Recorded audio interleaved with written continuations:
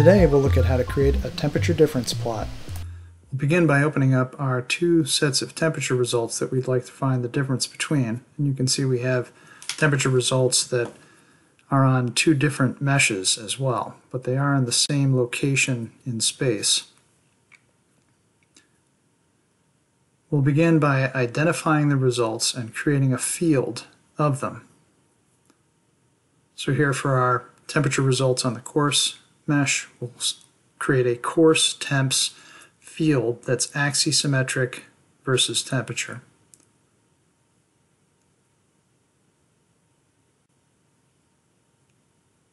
And then we'll make our master view the fine temps, the fine mesh temperatures. And here, again, we'll create a field that will be axisymmetric plane versus temperature. And that will be, we'll call that fine temps. So now if we look under the fields, you'll see in the navigator our coarse and fine temps fields.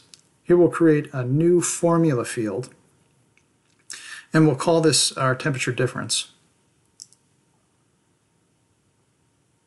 Then for our dependent domain, we'll search for the temperature difference domain. And we'll create a variable of that by hitting the enter button after we find it. And then our independent domain will be the axisymmetric plane. It's the same as we had defined for the fields that we created for our fine and coarse mesh temperatures.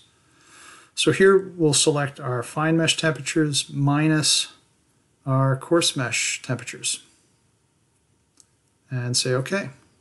So now we have a field that's the difference of those two fields. And we can plot that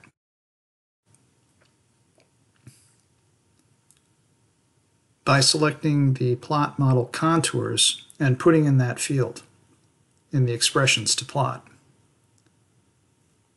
And that field was called temp diff.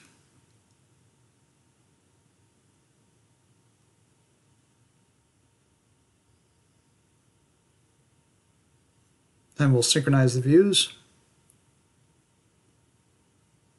And there you have your temperature difference plot.